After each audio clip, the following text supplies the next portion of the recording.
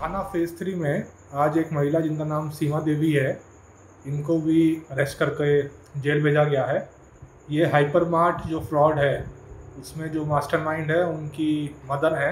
इनके नाम पे बहुत सारी कंपनीज़ में डायरेक्टर हैं और इनके नाम पे एक Seema Devi real estate company भी है, जिसमें ये सारी फर्जी कंपनियों से पैसा ट्रांजैक्शन कर, हुआ था।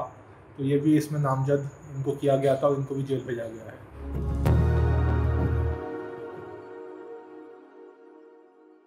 परवाह देश की।